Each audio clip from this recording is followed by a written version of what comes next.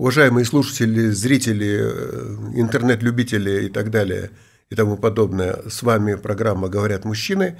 Как обычно, с белорусской стороны, э, она такая программа союзного государства, имеет отношение к союзному государству, поэтому с белорусской стороны мужчина, в роли мужчины выступает публицист, общественный деятель Геннадий Брониславович Давыдько, мой добрый друг – а с российской стороны мужчин изображает генеральный директор радио «Говорит Москва» и председатель совета директоров «Комсомольской правды» Мамонтов Владимир. Это я. Но на самом деле э, среди нас есть подлинный ведущий, подлинный руководитель этой программы. Это Анна. Все кто смотрит эту программу, часто знают, что это она и есть движущая и сила программы. И она находится не на одной, не на другой, а где-то вот а в стране, где-то, где между, между, между Россией, да. между Беларусью. Давайте я буду связующим звеном. Пожалуйста. На то мы порешили. Переходим э, к первому блоку нашей программы. Э, первый блок у нас «О чем говорят мужчины?» о важном простыми словами, угу. емко, коротко и просто объясните нам, в чем суть, в чем дело и чего ожидать от следующих новостных поводов. А, борьба миров если можно ее так назвать, э, борьба кандидатов, и на самом деле это была борьба баснословных бюджетов.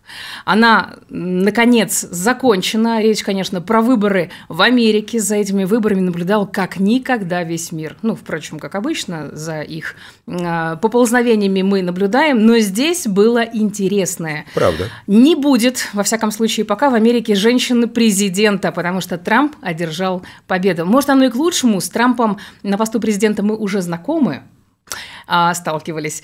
Поэтому объясните нам, пожалуйста, Владимир Константинович, предлагаю начать с вас. Пожалуйста. Объясните нам, чем, а, чем для нас может обернуться очередное президентство Трампа, повлияет ли оно на нас и благо ли это для нас на данный момент. Вообще, э, сразу бы сказал, давайте с финальной фразы. Э, цепляюсь к финальной фразе. Благо, не благо, понятия не имею.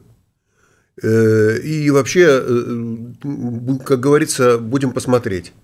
А почему я, такой, э, почему я так уверенно говорю, и на самом деле ничего пока вменяемого такого, значит, не сказал, потому что сверх президента, а президент на Валдае сказал интересную вещь. Да я, говорит, тоже не очень понимаю, что дальше-то будет, поживем, увидим. Понимаете, вот это житейское, нормальное, абсолютно спокойное отношение к тому, что там кого избрали и так далее, и так далее, оно абсолютно правильное, оно абсолютно позитивное. Нам надо за этим всем наблюдать. Речей мы наслушались уже, в общем, выше крыши. Обещаний э, невыполненных у нас багаж гигантский. А, Трампа, как, э, если меня спросить лично, вот я за кого был, за, за, за Трампа или за Харрис? Ну, конечно, за Трампа. Трамп живой человек в этом паноптикуме. Он живой, он какой-то непонятный, что с ним будет, вот еще непонятно к, к вражде или к дружбе все это, или к пользе, или, или к беде. А, но, тем не менее, это живой, живой чел.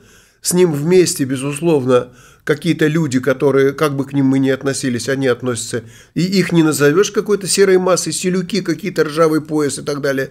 С ним и Илон Маск, с ним Такер Карлсон, с ним много кто из тех, которые, в общем, э, для нас представляют, ну, просто живые люди представляют для нас интерес, а демократические зомби не представляют для меня интереса никакого.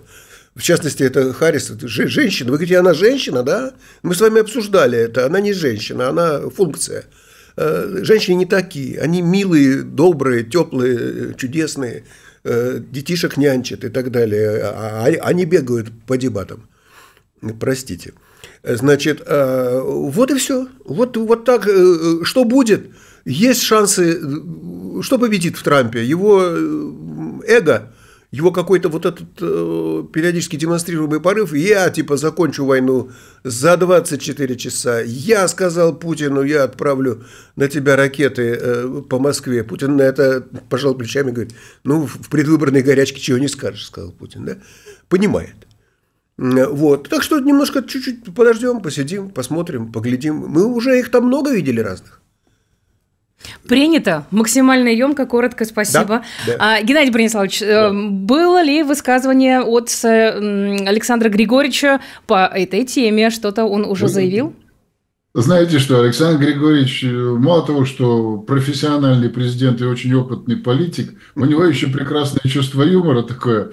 Он э, без юмора всякого сказал, но тем не менее фраза такая потрясающая. Сказал, если Дональд Трамп выполнит свое обещание по поводу прекращения войн, угу. то мы, Беларусь, выдвинет его на Нобелевскую премию. Это точно, да.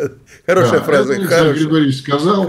Я уверен, что так и будет, если он прекратит.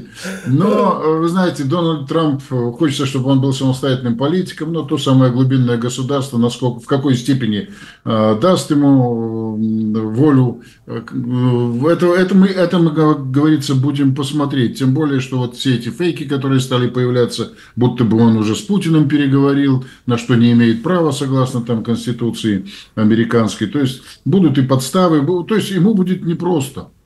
Но то, что э, во время э, первого своего пришествия э, Дональд Трамп ничего особенно хорошего для Беларуси не сделал, а санкционное давление увеличивалось, э, антироссийская, антиславянская, можно даже так сказать, политика проводилась им но э, он приятнее, во всяком случае, прошлого руководителя хотя бы тем, что он больше похож на человека.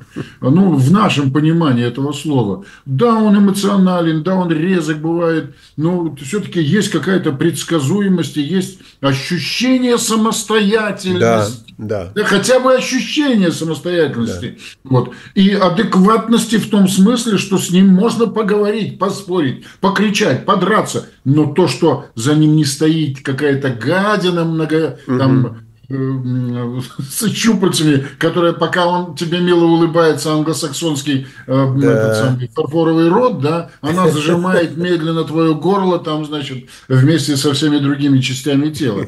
Вот какое-то ощущение эмоциональной честности есть. И вот эта есть, знаменитая да. западная улыбка, которая ничего не предвещает, а просто как вывеска, за которой может стоять убийца. А славянская улыбка отличается от этой. Э, ведь славянин как? Нравится человеку, он ему улыбается. Не нравится, не улыбается. И это нам всегда вменяют. Вот вы какие неулыбчивые. Да вы просто искренние. И, знаете, нахмуренный лоб э, честного человека гораздо ценнее искусственной, да, искусственной улыбки, да. которая принадлежит человеку абсолютно со скрытыми намерениями. Ну да ладно. Э, в связи с этим э, мир весь полон ожиданий, а, потому что, восходя на э, трон во второй раз, Дональд Трамп сделал ряд таких многообещающих заявлений, по крайней мере, о том, что он э, собирается интересоваться больше внутренней политикой, внешнюю отдает он на откуп там э, другим, более мелким, что ли, политикам своей команды. И э, понятно всем, что он попытается переложить украинскую ответственность на Европу в финансовой части, в первую очередь. Вот. Э, ну, посмотрим. Вряд ли это быстро все прекратится, потому что э, эта война, опять же, Дональдом Трампом воспринимается как бизнесменом, как выгодный актив, потому что Америке выгодна война в Украине, и вообще ослабление Европы выгодно, поэтому не надо, ребята, обольщаться. И вот он прям прекратит. Да нет, он тоже ведь деньги считает в первую очередь, а не человеческие жизни, тем более в какой-то там другой стране. А, посему обольщаться не надо, вести надо себя осторожно. А наш, опять же, президент, возвращаясь к Александру Григорьевичу, сказал простую вещь. Он говорит, все, что касается того клочка земли, за который я отвечаю как президент Беларуси, я буду там и жизнь класть, э, и все силы, какие только возможно, защищая свой народ. И относиться ко всем политикам мировым буду ровно, так, как они относятся к моей стране. Вот, собственно, мы желаем Э, Дональду Трампу э, разумного, э, разумных решений, которые он примет, которые начнет осуществлять после восхождения на этот пост. Разобрались с Трампом со стороны России, со, стор- со стороны Белоруссии.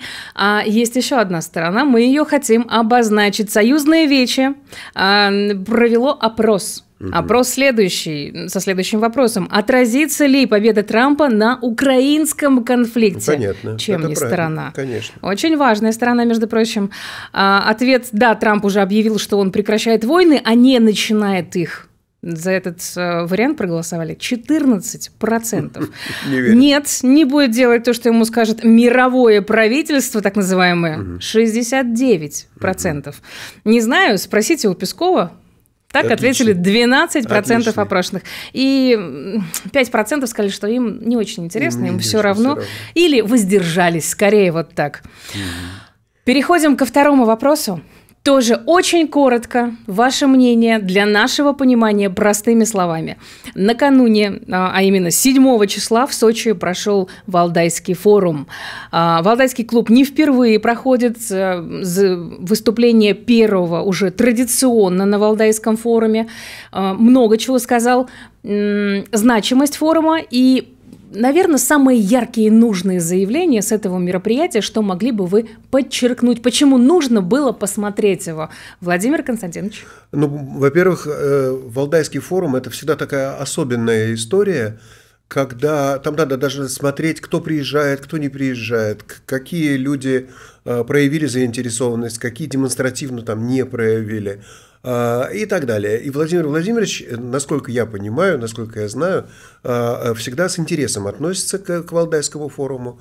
Он э, тяготеет на самом деле как человек, которому есть что сказать, и у него гигантский опыт уже международных, а, международных отношений, и в то же самое время есть такая твердая собственная политическая установка на многие события, которые в мире происходят, на все практически события, а он очень заинтересован поговорить с этим э, пестрым иногда составом э, Валдайского форума, сказать какие-то важные вещи. Э, и обычно это, это живое такое мероприятие, живой очень обмен мнениями. Так было и на этот раз. Из того, что было важным, это интрига, которую многие заметили э, в ходе Валдайского форума, поздравить, не поздравить Трампа. Это дело, так сказать, там это было очень... Э, ставки делались. Поздравил, поздравил Трампа. Это одно из, может быть, самых важных политических заявлений. И э, еще очень важно, что здесь вот коллега мой Геннадий Брониславович сказал, что остроумно заметил заметил Александр Григорьевич Лукашенко про Нобелевскую премию мира. Так вот, и Владимир Владимирович, он несколько заявлений таких сделал, которые выдают такую живость ума относительно Трампа, относительно мировой политики и так далее. Вот это отличает, Валдай, это такая валдайская тональность в которой э, а, все серьезно, конечно, все очень важно и так далее, но можно кое-что рассказать, можно кое-что от, отвлечься от текста, который, ну, несомненно, существует где-то, так сказать, вот на, э, в какой-то основе, да, и вот это было очень приятная, приятная и важная такая, такая история. Я уже говорил о том, что он, он так, в общем, а, осторожно пожелал успехов э, президенту, естественно, осторожно оценил и очень тоже не без внутренней какой-то улыбки и иронии сказал, да я не знаю, что будет, вот, э, давайте посмотрим и так далее. Вот, это, это очень, вот это я называю вот этой валдайской тональностью, мне кажется, это вот такая штука, такая штука полезная, позитивная. Нельзя сказать, что на ней прям гвоздями прибивают какие-то важнейшие тезисы на будущее, да? но вот разминают, обсуждают, Э, говорят вещи не всегда стопроцентно, возможно, э, стопроцентно, которые э, директивны, да, но, тем не менее, это всегда такой хороший, хороший полет такой. Этот Валдайский форум исключением не стал. Принято. Геннадий Брониславович, видели вы произошедшее, смотрели ли вы Валдайский форум, или потом, может, в кратком содержании, изложении, цитатами главными ознакомились? Как у вас? Ну, очень коротко скажу. Там было много интересного, много нюансов. А, но самое главное мне показалось эпохальной и такой э, конституционно значимой фразы, что Россия сейчас борется за человечество, да? за человечность. А, ну, то есть за христианские ценности. Я уже как бы расшифровываю так, да, а, э, это, это заявление Владимира Владимировича Путина. На самом деле это так. Сейчас идет противоборство двух точек зрения вообще на существование дальнейшее человека на этой планете. Да? Каким он будет? богоподобным или демоноподобным существом. И в то время как весь западный мир сейчас отрекается от основополагающих принципов человеческого существования а, и ближется к животному, то есть кто силен, тот и прав, да, э, желание впереди и пороки впереди, добродетели ставятся на первое место там. Э, все эти категории карьера, деньги, э, сила, они важнее категорий душа, совесть, честь, да, вот все это поправить, тем более все маски сорваны, мне представляется, что вот это вот заявление, оно имеет такой, ну, глобальный смысл, пожалуй, лозунгом может быть в нашей борьбе за те ценности, которые мы исповедуем, которые у нас прописаны в Конституции Российской Федерации и Республики Беларусь. Ну и, собственно говоря, с ним никто там и не спорил на эту тему. Но остальные, не менее важные э, посылы, которые исходили из уст российского президента, они имеют большое значение, не меньшее, да? Но про них можно говорить долго, не в формате нашей программы, как мне кажется. Ну, можно просто изучить материалы, взять просто, это все же в открытом доступе есть, берешь и изучаешь, и, и, и смотришь. Я думаю, наши читатели, те, кто глубинно э, хотят понять, как это устроено все, я думаю, это, это смогут сделать. И самим расставить акценты внимания на да, каких-то приоритетных да, вещах, да, которые прозвучали на мероприятии. Принято работаем с информацией. А мы э, работаем, а вернее, не работаем, а немножко поспорим. Поспорим, наконец. Следующий блок нашей программы «О чем спорят мужчины». И сегодня наши мужчины спорят об иноагентах сейчас будет неожиданно, потому что нам нужно разделить мнение среди наших ведущих, среди наших мужчин.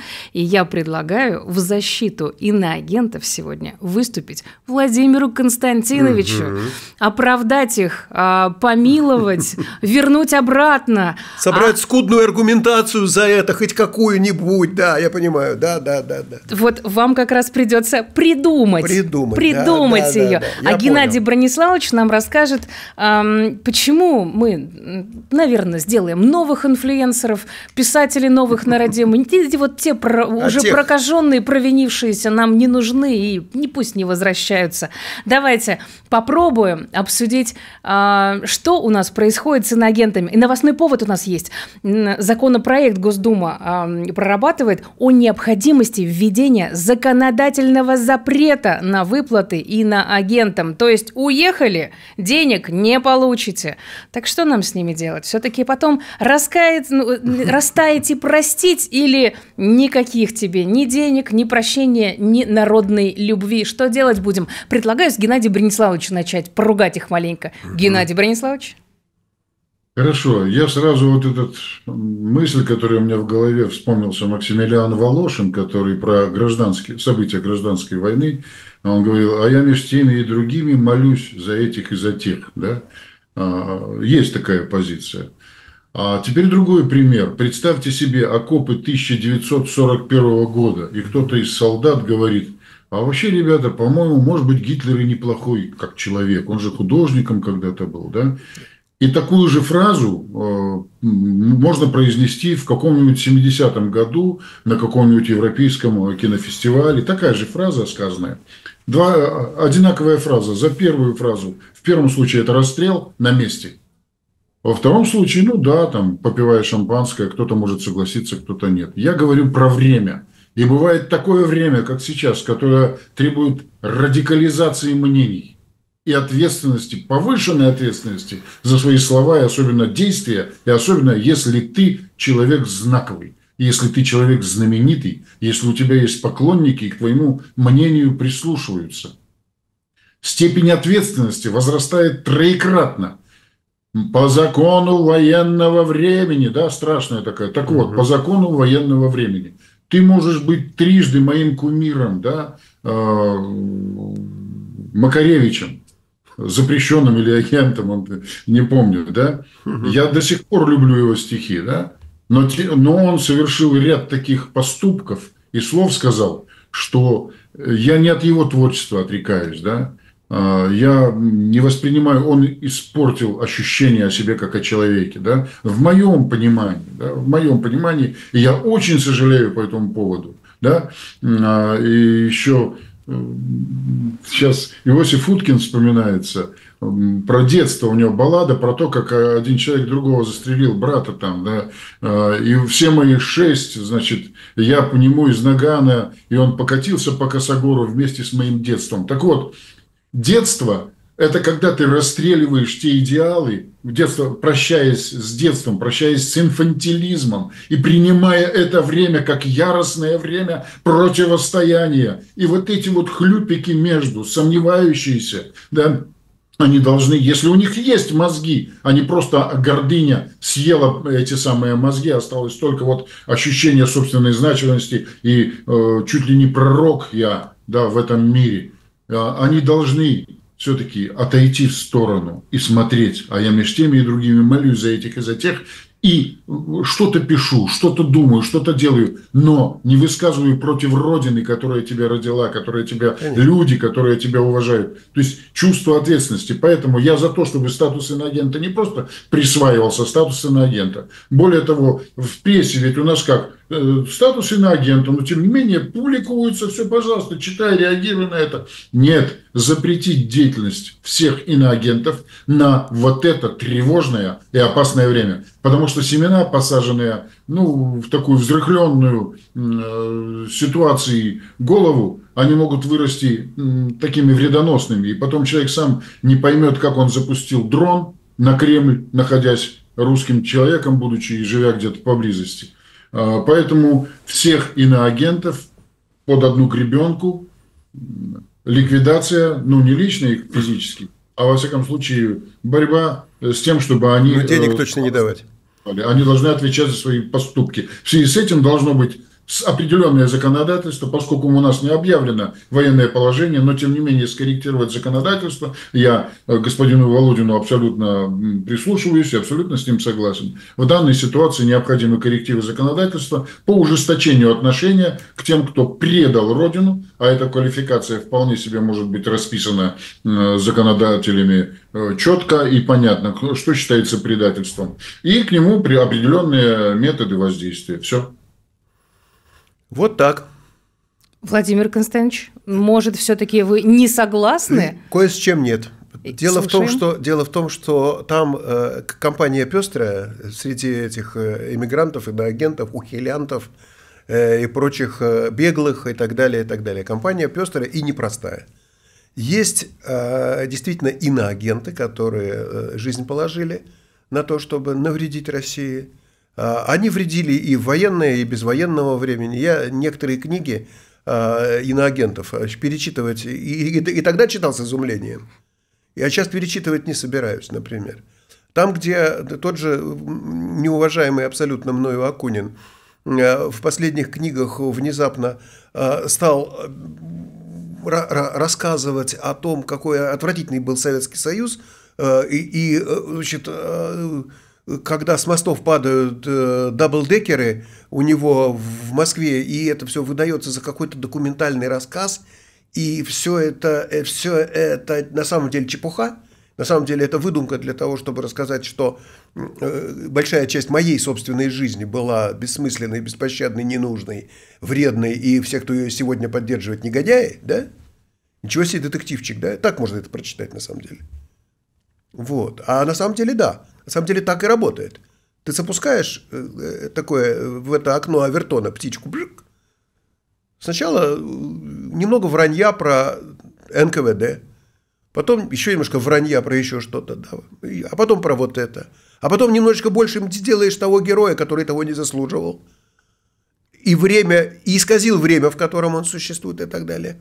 Геннадий Борисович говорит, ну ладно, говорит, типа в мирное время куда не шло. Мне и в мирное время, если честно говоря, все корежило, потому что, в общем, я не очень понимал. Ты, ты собственно говоря, почему, э, почему ты э, вот так обязательно устроен? Знаете, там статский советник, когда ставили фильм, значит, у, у Акунина статский советник Фандорин э, по книге э, бросает службу и уходит и говорит нет. И только настоя... настояниями Никиты Сергеевича Михалкова в кино Фандорин все-таки говорит, видимо, чтобы не лишиться денег за сценарий, да, а Акунин все-таки соглашается с тем, что Фандорин остается на службе. Мы на всякий случай оговорочку сделаем, что он а, иноагент. Иноагент. Привет сделаем, передадим да, привет Роскомнадзору. Передадим, да, да, да, Иноагент, и мы, мы помним про это и не, не, не да, устаем напоминать. Не устаем напоминать. Да. И э, Никита Сергеевич просто, э, будучи, ну, как сказать, он это 3Т же ставил этот фильм,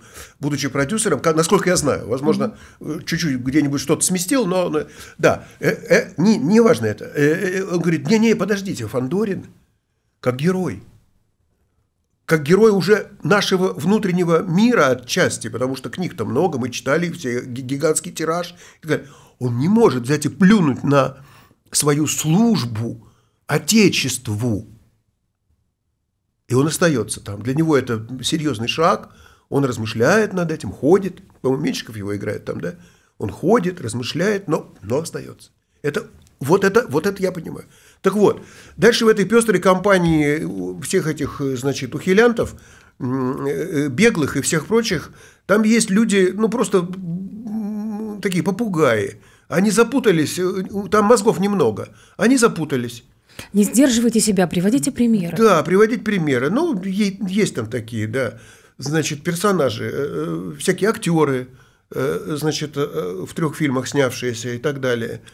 Они могут обнаружить там, что они поддались какой-то моде, глупости и так далее. И сказали, придут, скажут, ну мы поддались моде, глупости, извините. Надо понимать, что они просто глупые и не очень значимые люди. И с ними так и обойтись, посмотреть, значит, чего. Ну, где он, может быть, он искренний, может, он приполз, может, на коленях, может, еще что-нибудь. Вот. Есть, конечно, э, и другого рода там персонажи, но их крайне мало. Знаете, Буниных там нет. Бунина возвращал... Вот нету там Бунина, хоть убейте. Акунин не Бунин. Э, э, значит, и Вертинский, и наши певцы, хорошо, Гребенщиков не Вертинский. Не Вертинский. Все равно, хоть убейте. А я Владимиру Константиновичу напомню, что он сегодня защищает да, этих товарищей. Я их сейчас буду защищать. Я буду, рассказывает буду... нам, почему мы должны простить. Да, их. потому мы должны, мы должны их простить, потому что они не Бунины. И если они внезапно сочтут, что они ошибались, вернутся, попросят прощения у страны, это один разговор. Макаревич и все прочие. Э, я этих не собираюсь защищать. Бунина буду. Бунина, понимаете, окаянные дни человек. Написала Сталин, посылал Симонова э, поговорить с Буниным, а не вернешься ли ты? Не вернетесь ли вы, конечно же, да? Вот, э, вот это важный момент, потому что, я знаете, скажу вам что, что когда Иосиф Виссарионович читал эти окаянные дни Бунина, он эту все равно считывал некую правду, которая там тоже есть, и даже без тоже – и хотя он не был согласен с политическим посылом, и когда он Булгакова 18 раз смотрел в Амхате э, «Дни Турбиных», он понимал правоту Булгакова, и он умел это выразить, он, он, он, он сказал тогда, его главная сила в том, что он, он как вождь, он ничего другого искать не мог. Главная сила в том, что он показывает, что даже такие толковые, умные, нормальные и, в общем, симпатичные люди, как э, герои Турбиных, э, проиграли нам, большевикам. Это, поэтому пусть идет в Амхате. Но это, я уверен, что он смотрел на это и на как произведение искусства, культуры. Это 18 раз не пойдешь смотреть на политическое заявление. Даже на самое близкое тебе и важное. Ты идешь смотреть на... на, на. Вот что, если там возникает какая-то история о том, что... М- ну, тут мы не поняли, тут мы... Э, еще что-то мы... Ну, может быть, я думаю, что в этом смысле я бы защитил. Вот, вот так, в, та, в таком положении. Но э, я буду стоять на своем, я буду перечислять, получать деньги в России, перечислять их в Киев, значит, на поддержку бандеровцев, да, а мы будем продолжать кивать и говорить, требовать от меня, чтобы я их защищал. Нет, таких я защищать не собираюсь. Что хотите со мной делать? Я не буду их защищать. Это даже в рамках ролевой игры. Так, а, я, давайте еще раз вот напомним, что меня, многие, многие, кого мы сейчас э, упомянули, э, являются иноагентами, да. признаны на территории Российской Федерации. Это и Макаревич, и Гребенщиков, э, иноагенты. Тема да. у нас такая, есть такое. А, нет, Владимир Константинович, вы призваны все-таки защищать, поэтому Тех, кто ответьте, покаялся, ответьте, покаялся, вот, понял, что глупость сделал. По формату Посмотрел, того разобрался, прощения. да, формат, формат про прощения. Они это... на коленях должны прийти, финансово ну, вложиться как-то, как мы их нет, должны простить? Нет, я думаю так, тех, кто уже уехал, и тех, кто продолжает туда, в общем, э, быть вне России и не за Россию, скажем так, ну зачем мы им деньги-то платим? Это верно, не надо. Ну зачем? Ну это что, нам что, деньги девать некуда? У нас что, пенсионеры прямо, я не знаю, в роскоши купаются? Чтобы мы иноагента Акунина осыпали, э, значит, э, э, гонорарами. С какого? Да хватит уже, может. Немножко, я немножко посчитаю, не позащищали. Я посчитаю, да, позащищал. Так позащищал, что, в общем... Что Геннадия Брониславовича оставили без работы. Геннадий Брониславович, давайте тогда к вам. А, смотрите, Нет, ну если, если покаются по-настоящему. Дело не в том, ползешь ты, не ползешь, пришел достойно.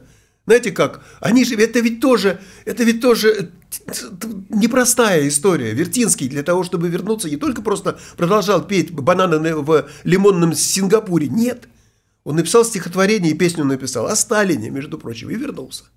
Но вернуться и сказать, я просто зашел не в ту дверь, это будет, наверное, маловато.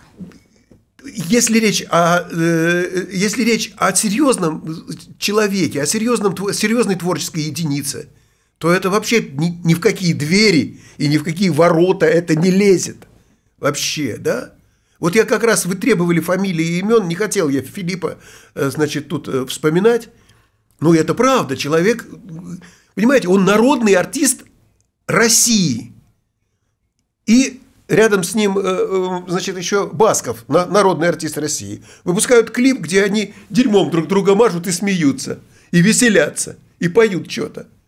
Их специально звал один для них авторитетный человек насчет финансов и говорит, вы народные артисты, вы что делаете? Они говорят, раз приезжайте, я сейчас, вот вам они денег. Они говорят, не в ту дверь.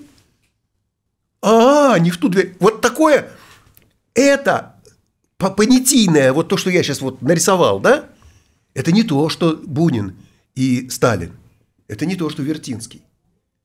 Это совсем другая история. Мелкая, и я бы эту субстанцию еще бы, которую они там друг друга мазали, тоже при, применил бы. Сказал бы определение, какая это история. Ну, Бог с ними, в конце концов. Ну, хоть про дверь сказал, и то ладно. Он же понимает всего лишиться. Не тех людей называют, я его признает иноагентами? Я его защищаю. Быть Таким может. образом, я его защищаю, потому что я его защищаю в нем нормального человека. Если он еще нормальный человек. А ну нормальный. Остал. Если да, он может быть не самый мудрый, может быть, он, да. Я, может, он не самый мудрый, может быть, он, не знаю, там какой-то, ну, весь, он пропитался э, этой, этой попсовой, значит, этим желе, в котором они вечно, э, значит, по колено ходят, да? Наверное. Можно я одну Конечно. новость э, э, расскажу? Она будет грубой шуткой одновременно. Исследовательский центр некий существует в Южной Каролине. Буквально там несколько дней назад оттуда каким-то образом сбежали обезьяны. Да? Ну, открыли клетки обезьян. И слушайте, Уже смешно. они через день вернулись, потому что там их кормят в клетке.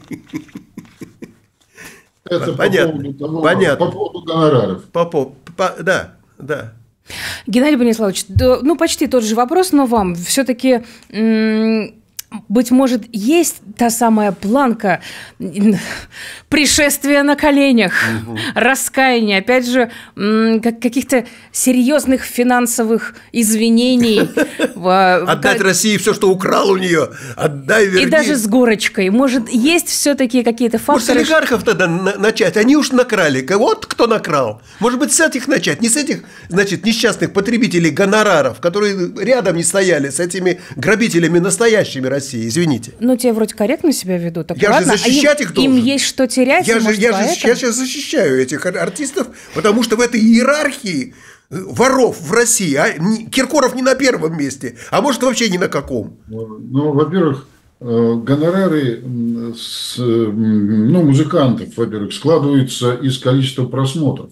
Верно. Все-таки. Все-таки да, да. А не просто так с потолка да, и не сюда. Да, да, да, да. Значит, да, у них есть да. поклонники. Да. И значит, вот эти люди, которые их слушать продолжают, да, или крутить там на дискотеках, или что-то касательно музыкантов, а, они платят и поддерживают их. А, вот тут вот как раз вот, вот такой сложный момент. Значит, у них есть поклонники, их творчество. Угу. Это не означает, что их политические позиции там какой-то. И э, с искусством вообще очень трудно разбираться э, копейкой. Иногда какой-нибудь пиросмани, пиросманашвили, да, который рисовал там на этих э, жестянках, там вывески. И картонка, да, да, да. Таверны, да, а является великим художником, а какой-нибудь имярек там неизвестный, который обладал дорогими холстами, там, с хорошей грунтовкой, с хорошими красками, он и забыт просто. Поэтому тут речь идет о народной любви, о творчестве. И никто не знает политические мировоззрения того же Пиросмани, которого я что-то вспомнил, да, или там Сальвадора Дали. Там. Э, они вообще о политике никто ничего не говорил. Может, время было такое неполитизированное. Но политики, хочешь не хочешь, они совращают, это демоны, это, а, это змеи-искусители, они пытаются притянуть к своим идеям каких-то популярных артистов, ну, Жан-Клод Ван Дам, что-то, помню, говорил даже против Беларуси, типа, там да. тоталитаризм. Что ты знаешь, Жан-Клод, ты хороший большой артист, хороший боевой, или там еще кто-то. Боевой артист. Музыкантов. А у них-то ведь гордыня, тонкое место, они все огонь и воду прошли, а вот медные трубы слабо. Нет, и да, вот да, да из медной трубы ты великий, давай там вот осуди что-нибудь, на тебе за это деньги. Осуждаю, а деньги взял. А, и потом, тоже надо понимать, что люди искусства, люди культуры, почему-то в Советском Союзе так воспитаны, что модно быть против власти. Понимаете, модно э, иметь свою точку зрения, да? модно быть в андеграунде где-то в каком-то. Ну а что вы, а приветствовать и хлопать, ну это значит карьеристы, а я вот так вот со своим мнением тихо покурю в углу. Э, ну вот это вот, понимаете, это совковое такое вот э, ощущение, а я против, а я не в толпе, а я не в ногу. Вот в этом моя прелесть. Оно как раз вот, ну, соседствует не только вот с этой категорией, знаю, есть такое понятие вечный жид, да, то есть э, Агосфер. Мученик э, генов, которые вынуждают меня быть на одной стороне радикально или на другой радикально, и вообще всегда быть в протесте в каком-то. Это вериги определенные, это труд, это, ну, это, это не так все просто. И что касается творческих людей, это огромный большой разговор. Но то, что касается творческих людей, которым все-таки, которые должны понять, что они отвечают за те умы, которых они совратили. Они являются искусителями.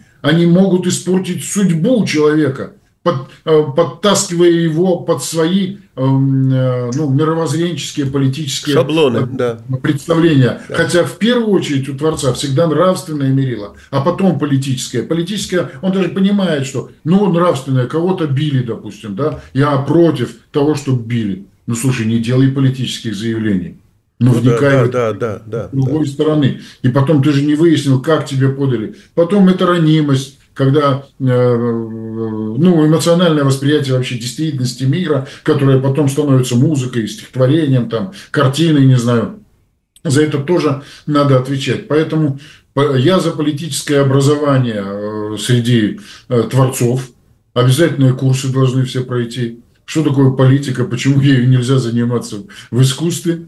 А, и все. А что касается раскаявшихся, в Беларуси как раз работает специальная комиссия, куда не только творцы, а все, кто э, ну, был замечен ну, да, в, в протестном движении, могут прийти, и степень их вины будет определена в случае раскаяния. Ребята, работайте, живите на родине, э, мы своих не бросаем. А в случае того, что ты там допустил какую-то э, ну, агитацию или что-то такое, ну, ответь, да и живи спокойно, uh-huh. не ломай свою судьбу.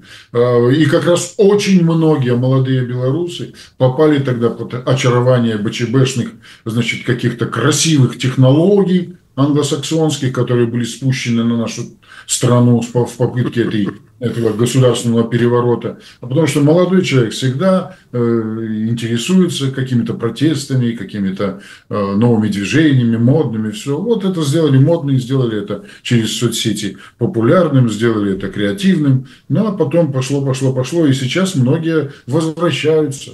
А кто-то еще не решился. И кто-то, кстати говоря, я думаю, вернется уже после выборов президента, что понятно, Беларуси. Понятно, что перед выборами сейчас у нас повышенная все-таки бдительность должна быть, что враг не дремлет, и мы должны очень жестко подойти к внутренней дисциплине, к внешнему быть внимательны миру э, до 26 января. Э, это день выборов э, президента Республики Беларусь.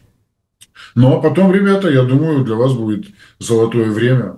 Приезжайте, устраивайтесь, работайте, мозги нужны, руки нужны. Белорусов мы любим, Хорошая, а вы любите. Хорошая. А, родину Беларусь, тем более хлебнувшая зарубежного хлеба а, и водички зарубежной. Да, да, да, да, да. да. Маленький комментарий. Вот Геннадий Бориславович еще одну интересную штуку заметил. Я с белорусскими друзьями тоже это уже обсуждал. Понимаете, вот у них сейчас идет кампания, флешмоб такой. А, Лукашенко его спросили, вы пойдете в президент? И когда он еще только собирался? Он говорит, ну народ скажет надо, я пойду. И народ сказал, надо целая компания. Да. Целая Ц- компания. на библиотеке, на библиотеке, угу. значит, наш друг Вадим Францевич разместил, значит, Гигин разместил э, «надо», люди говорят «надо», на улице говорят «надо», «надо» и так далее. Да, это политтехнология. Да, это политтехнология. Чего? Мы, мы большие мальчики, мы понимаем, это политтехнология. Но при этом это политтехнология какого рода? Она когда в 2020 году были события в Беларуси, я хочу подчеркнуть, многие тоже считали «надо», Александра Григорьевича поддерживали, только тихо, под плинтусом, и ждали, чем кончится – а движение гедонистов, как сказал а, да. господин Давыдько, да. сторонников чего-то нового, вот, им, да, им да, вот да, в клювик да, положили, да, и вот, они решили вот, попробовать. Вот, понимаете? А эти, да, решили попробовать. И в результате там чуть республика не перевернулась. Понимаете, в чем дело? Поэтому вот эта артикуляция, внятная артикуляция, чего тебе надо, девочка Надя, чего тебе надо, кроме шоколада? Вот это очень важная такая штуковина, и она э, внешне, может быть, кому-то покажется, ой, как жесткая и так далее. А ничего жесткого нет. Ты определись. У тебя страна нужна твоя добрая, замечательная, которая тебя еще прокормит тебя и детей. Или какая, или да это шоколадка с кружевными трусиками, куда ты там э, э, э, за этой мечтой невнятной потащишься дальше. Скажи, определись, подумай сам, наконец. Так что политтехнологии тоже разные бывают. Это я, Геннадий Бориславович, в поддержку вашего тезиса. Абсолютно, мне Спасибо. кажется, да, это абсолютно, мне кажется, очень, очень правильная такая государственная, государственная штукенция такая, придумана кем-то и воплощается, и правильно сделается. Геннадий Брониславович, не прощать позиция ваша, но еще один момент. А если искупить свою вину на СВО? Это достаточно для получения, наверное, для возвращения народного уважения? Геннадий Борисович, давайте... Анна, здесь тонкая грань. Я представляю себя воином на СВО. Это великая честь быть воином на СВО. И вдруг ко мне рядом в окоп прыгает известный иноагент, который решил кровью своей искупить. Слушайте, он оскверняет мой окоп. Я не хочу плечом к плечу с ним. Пусть он совершает подвиг на своей территории. Не в моем окопе, да, а пусть он песней, стихом, да, э, кровавым, пахнущим, э, знаете, потом и кровью, таким вот, таким творчеством, роком мощным, какой-то песней, которая будет звучать, и с ним, с этой песней захочется идти в бой. Вот так вот. А не примитивно, что да и какая польза от него в этом окопе. Вот, э, поздно. А я и спорить не буду. А вот я с вами тоже соглашусь. И я предлагаю на этом тему иноагентов сложную закрыть. На всякий случай всех, кого мы не пометили вот этой маркировочкой иноагентства. Мы их помечаем. Мы помечаем сейчас, всех и каждого, осуждаем и соблюдаем правила. Переходим к третьему блоку нашей программы, к приятному. А приятность у нас заключается в том, что э, мужчины наши не могут молчать, как обычно, о женщинах. И поговорим мы сегодня о чем-то вот родном, э, таком позитивном, не, не, не оскверненном абсолютно от слова совсем. Мы поговорим о женщине, которой, между прочим, уже 95. И речь про Александру Пахмутову этот великий, но в то же время маленький человек, и ее творчество известно абсолютно всем. И она не в те двери она не входила. Нет она не в политике, она несет с собой э, что-то чистое, женственное, красивое. И если вы и ее назовете не женщиной, вот тогда я буду ну, ну, против. Ну, ну, ну, ну, а сейчас мы и послушаем. Владимир Константинович, начинаем с вас. Что Нет. вы знаете про этого человека? Э, что вы помните? И, собственно, с чем она у вас ассоциируется? Ну, если по-женски, э, э, так сказать, вот если с женской стороны, как бы, это это вот такой, э, как вам сказать, светлый человек такой. Женщина светлого типа. Не блондинка, не просто блондинка, а такого светлого, э, очень, очень всегда мне приятного типа, живая, э, чувствующая, явно, явно интересная, творческая и так далее.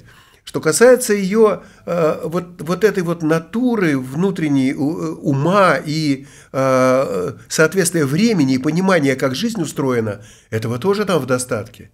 Понимаете, ведь как она, что она делала? Мы все жили в Советском Союзе. Ну, например, возьмем сейчас, ладно, от политики отойдем в сторону. У нас был хоккей. Все смотрели хоккей. Сборная СССР играла то с чехами, то со шведами и так далее. Обычно хорошо играла, потом с канадцами начала играть, с профессионалами и не только, и так далее, и так далее, и так далее, и так далее. Дальше нужна, наверное, где-то там тоже, что-то нет никакой песни про хоккей. И Пахмутова сочиняет песню про хоккей. Но обратите внимание, про что она сочиняет. Она сочиняет песню не про победы хоккеистов, значит, э, канад, да, канадский профессионал. Она пишет песню, а Добронравов, муж ее, на 30 сантиметров выше ее, пишет ей, значит, э, пишет ей, э, текст. значит, текст. И там написано, трус не играет в хоккей.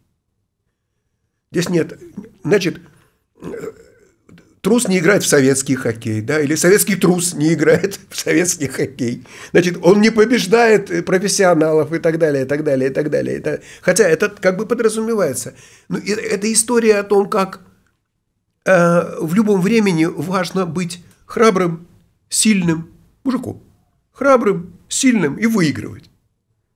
Слушайте, а это что, это только к Советскому Союзу имеет отношение? Да это вообще позиция. Это очень правильная, грамотная позиция, что называется. И очень женская. Очень женская. Потому что а, тот, кто рядом, Добронавов в хоккей не играл, но зато хорошие стихи писал ей постоянно. И они прожили с ним какую-то тучу лет. Он не так, не, не так давно умер, к сожалению. Вот, вот это очень, вот, вот для меня вот это очень важно. Она э, тонкий, светлый человек – не отрывающаяся от своей эпохи. Больше того, она понимает ее за, против, э, какие-то вещи. Но когда э, молодежь отправляется на БАМ, она пишет лучшие песни о БАМе. Там столько забытых песен о БАМе, я как ветеран БАМа скажу вам. Значит, там столько забытых песен, дурацких. А ее помнится. Когда Белоруссии нужен... Э, у Белоруссии свой гимн есть, я знаю, да? Но на, на самом деле внутренний человеческий гимн Беларуси автор Пахмутова, Беловежская пуща, песняры недаром пели ее. И так далее, и так далее, и так далее. Вот это я понимаю женщина. Вот, вот и влюбиться не грех, 90 там или не 90. Это не важно. Это очень хорошо. Концерт был прекрасный. Зал этот. Все встали. Господи. А ей есть из чего формировать репертуар О, концертов. 444 444 песни. песни написала, это невероятно. У нас из, есть... из, них, из них, я думаю, сотню. Вот на, напрячься, вот сядем с Брониславовичем, и Наизусть. мы точно э, споем. Наизусть. А нынче у нас молодежь автор одного хита и считают себя да, суперзвездами. Да, да, да, да. Геннадий Брониславович, Про гимн, про гимн Беларуси расскажите. Насколько в Беларуси э, чтят, любят, уважают и считают действительно гимном эту песню «Беловежская пуща»? Рассказывайте. Да, да. Э, Александра Николаевна Пахмутова очень почитаемый э, человек, женщина. Лукашенко наградил нашей земле. И с днем рождения ее, с юбилеем, долгих дней жизни и творческих успехов. Она человек, я думаю, что это уникальная в мировом масштабе личность. И там эти Sony в Нобелевском комитете, э, которые э, ищут каких-то антироссиян, антибелорусов, чтобы вручить им какую-то премию Нобелевскую, типа в пику официальной политики, вот обратили бы внимание на этого человека. Вот кто должен быть лауреатом самых-самых престижных премий э, мировых по премии мира даже, вся ее творчество – ведь это хиты, ну, выражаясь сегодняшним языком. Что касается Беловежской пущи, она, э, вот я вам скажу удивительную вещь. По рейтингу востребованных Э, песен э, в караоке-клубах «Белорусская пуща» в Беларуси одна из самых популярных. Вот. То есть сначала поют там, что попало, а потом, когда компания созрела, почему-то кто-то выходит, заказывает «Белорусскую пущу», и весь караоке-клуб значит, с большим удовольствием поет «Белорусскую пущу». А,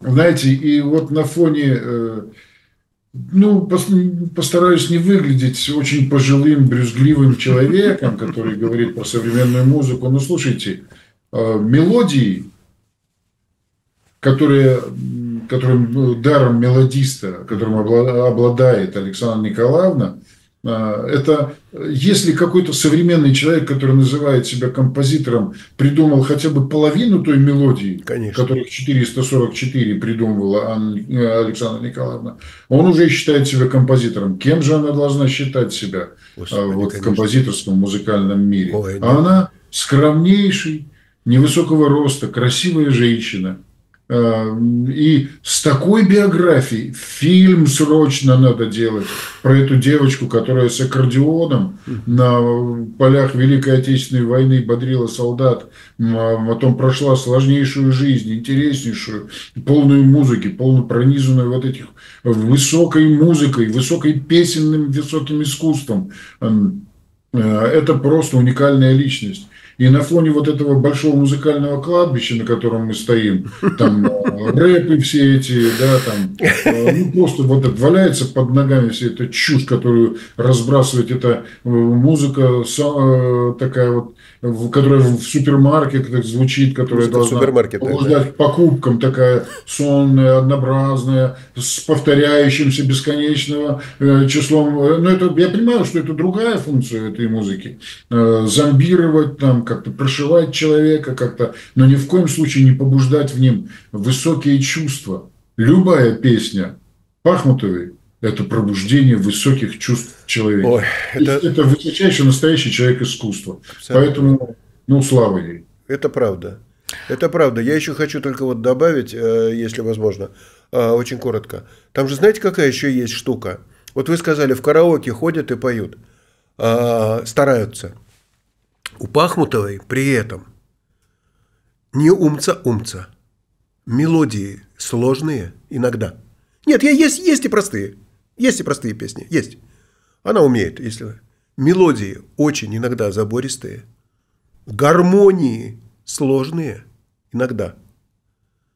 Кто, что тебя заставило э, придать мелодию любви, например?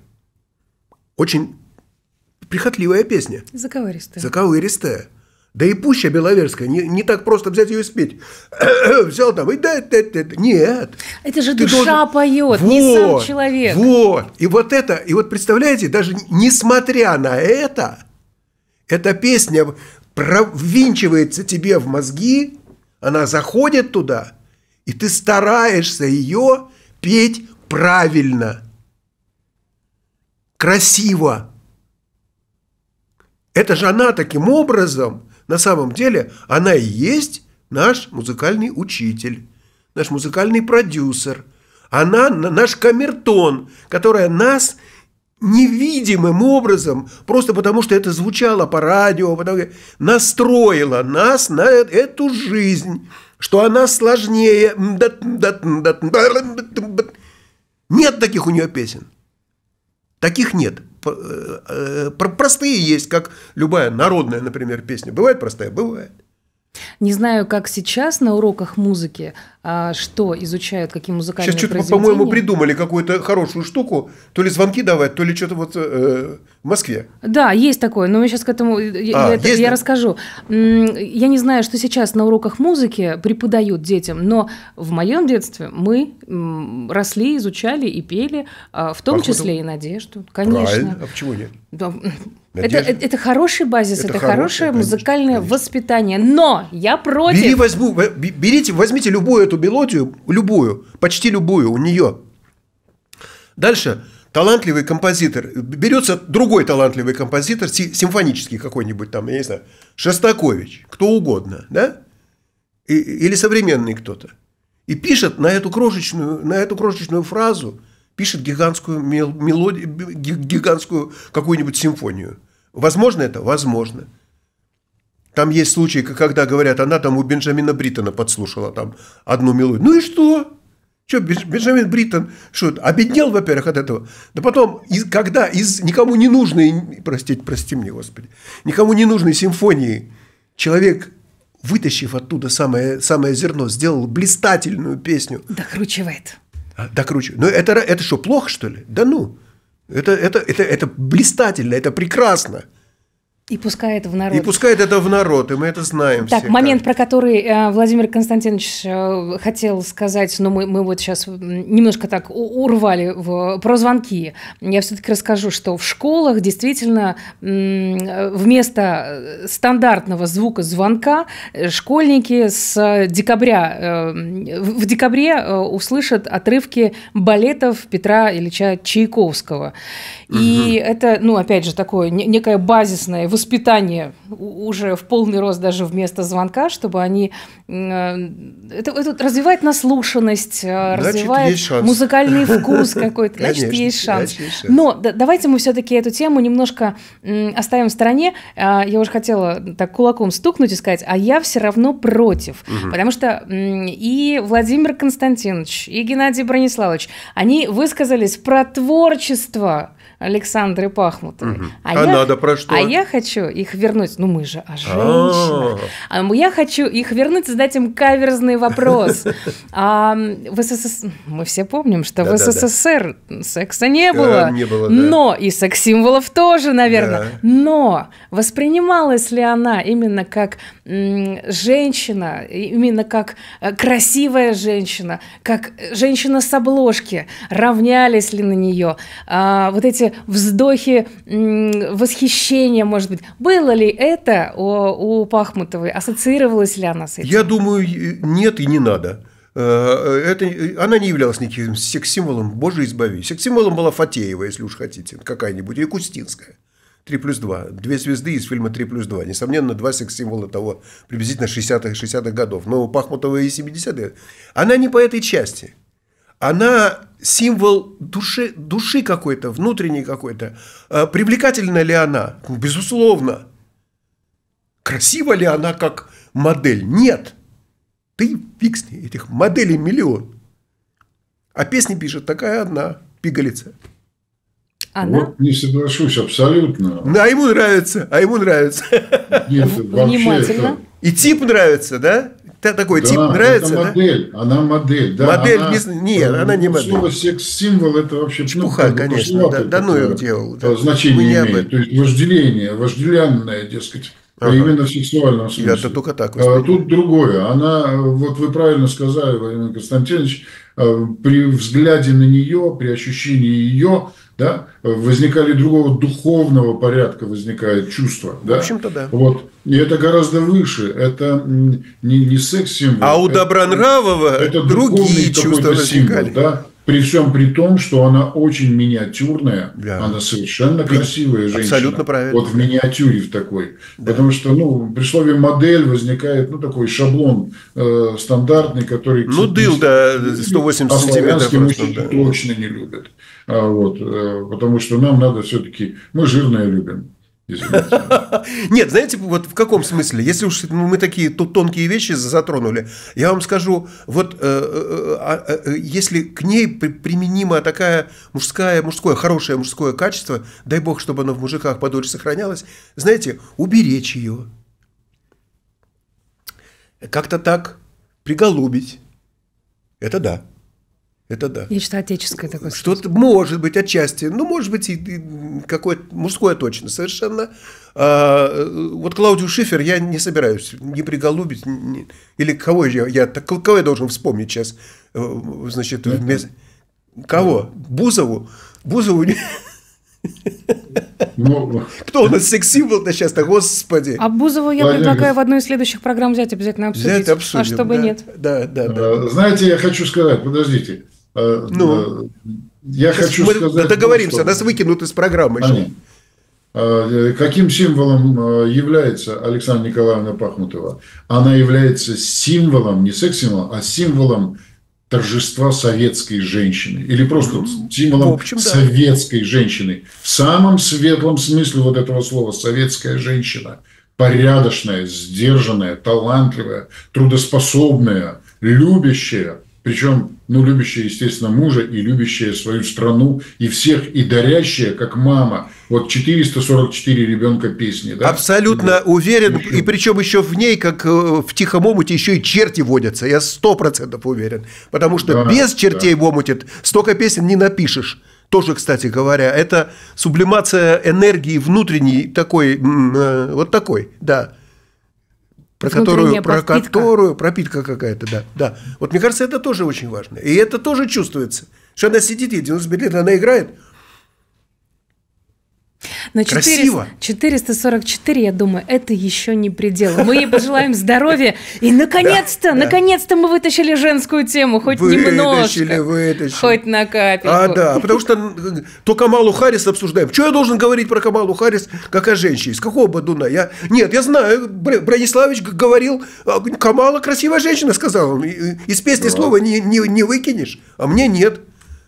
А, а он, он точно не защищал ее в рамках нашей, нашего второго нет, блока? Не нет? По-моему, нет. Я предлагаю нашим слушателям написать нам все-таки... Кто красивый, кто нет. Да? Не, я, я прошу их написать, кого, кого нам взять э, в а, нашу программу, а, кого разобрать, о ком интересно было бы... Или так, мы посмотрим. Ну, вот у нас да. вот, э, Геннадий Брониславович, любитель жирненького, жирненького. может быть, не может только быть, по косточкам по косточкам, разобрать. Да, да. Предложите нам варианты варианты э, для обсуждения женщин, э, известных и не очень положительных, а может быть, крайне, крайне наоборот диаметрально. И мы, мы все читаем, мы э, отвечаем на какие-то вот общие, общие вопросы и в Ютубе, и в программу. Берем предлагаемые темы для обсуждения. И вообще, пишите комментарии, ставьте обязательно лайк нашим, нашим видео, подписывайтесь, колокольчик нажимайте, это точно не пропустите пропустите. Ну а у нас на сегодня все. Я благодарю вас за запись. С нами сегодня были не адвокат, но прокурор. Э, музыкант, берущий акцентные аккорды в валдайской тональности. Генеральный директор радио «Говорит Москва» и председатель совета директоров «Комсомольской правды» Владимир Константинович Мамонтов. Спасибо. Спасибо и вам. специалист по распознаванию и разделению улыбчивости от искренности. Публицист и общественный деятель Геннадий Брониславович Давыдько. Спасибо вам большое.